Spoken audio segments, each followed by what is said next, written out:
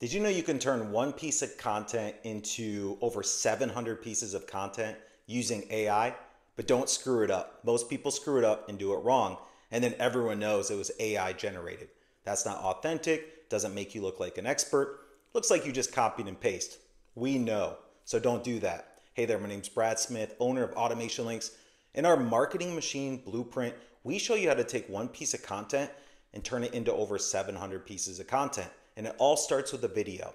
But today I want to teach you how to take that video, download the transcriptions, then use those transcriptions to create all of that content. Yeah, you're using AI, but it's authentic and it's coming from the words you've already said. So let's dive right in. All right, so the software I'm going to recommend is CapCut. Now, if you have another video software, feel free to use that as long as it downloads captions. So here is the prompt that you should use in our blueprint that you can actually copy and paste from this video. So once in CapCut, you're gonna download your audio or video to grab the captions for ChatGPT.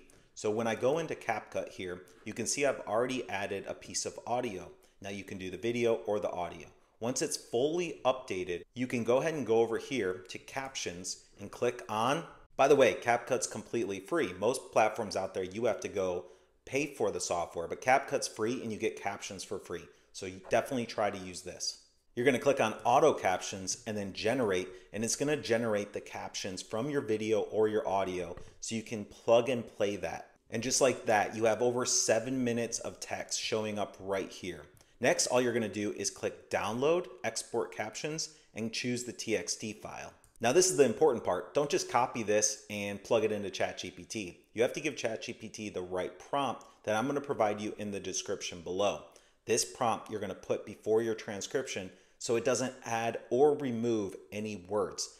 That way, it doesn't sound like AI. It's coming from the exact words you used in your video and your audio.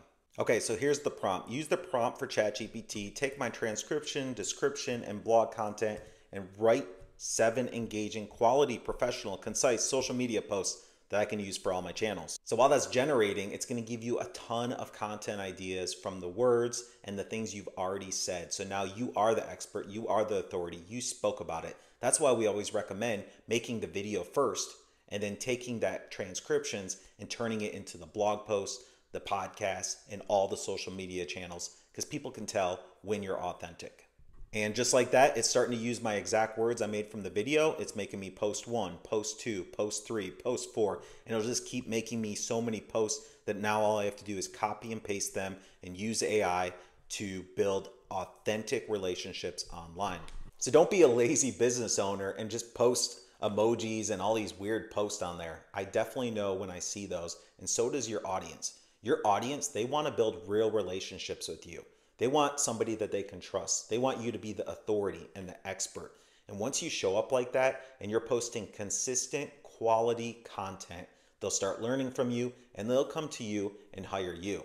Now, I have the, a free book that you can find in the description below called Relationship Marketing. And this book will, is basically six pages that shows you exactly how to build these real relationships with an audience online. Now, the best thing you can do is meet someone face to face and shake their hand, right? What's the second best thing?